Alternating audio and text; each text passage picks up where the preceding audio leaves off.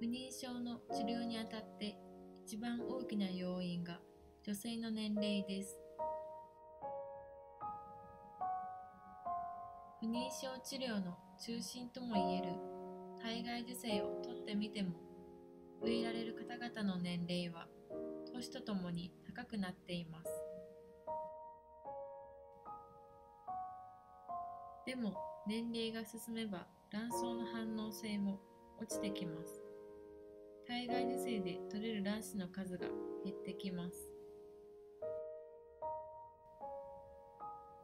卵巣にどれだけ卵子が残っているか大変興味のあるお話ですが AMH というホルモン検査で卵巣予備能を調べることが可能だと言われています。しかしこの検査は数がどうかということしか分からず卵子の質や妊娠の可能性までは表すことはできません。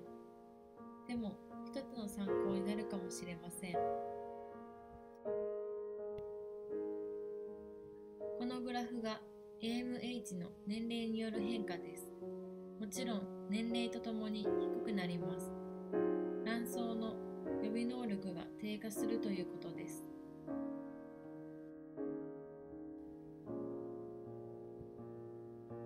体外受精の結果です。受精率は顕微授精という方法があるので年齢の影響を受けません。妊娠率は年齢とともに低くなってきます。なぜなら胚盤法という質の高い受精卵分割卵になる割合が年齢とともに低くなることが分かりました。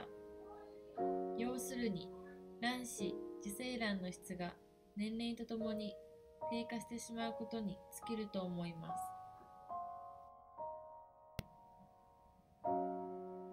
同じようなことが41歳以上の方々の体外受精からも言えます。つまり250例の方々のうち出産に結びついた方は結局7%に過ぎませんでした。その倍近い方々が妊娠反応は出ましたが最終的には流産してしまいました。結果として染色体異常というような原因で流産してしまうため受精卵の質の低下かあるいは年齢の影響と言えると思います。しつこいようですが年齢の影響は避けることができません。妊娠適齢期があるのではないでしょうか。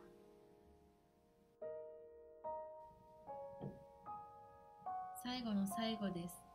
もちろん男性にも年齢の影響は出てきます。